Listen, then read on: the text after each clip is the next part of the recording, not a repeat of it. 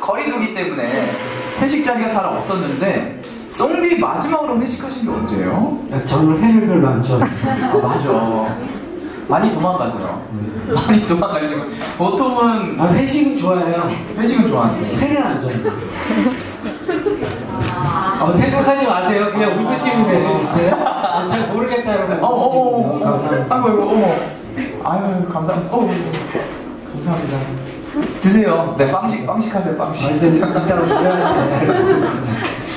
자, 그렇다면은 네, 최근 들어 연말회식 진행하는 곳들이 많아졌다고 하는데요. 네. 네, 오늘 울림스테이션처럼 저녁이 아닌 점심시간을 활용해 하는 경우도 많아졌다고 합니다. 네.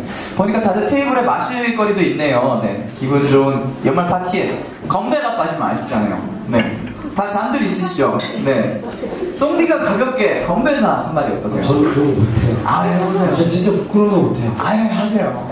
부끄럽게 하시면 되죠. 아, 진짜? 네. 제가 하는 게 있긴 한데 네. 근데 저는 제 노래 갖고 하거든요. 한번 해볼까요? 네. 자, 너에게나 나이가! 이거야? 한꺼번에 해야지. 이거 연습했다 치고 너에게나 하면 나에게나 해주시면 돼요. 아, 그렇게 하는 거야? 네, 그렇게 해야죠. 먼저 선창해주세요. 네. 어... 그렇게 너를 사랑해! 순발 역장이다. 아, 힘들어. 네, 한 번씩 하시죠. 한 모금씩 하시고, 아, 저도 한 모금.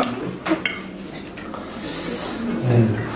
네, 건배사까지 하고 나니까, 아, 다음만은, 네, 와인과 함께 개츠비가 될 것 같았습니다. 음. 네.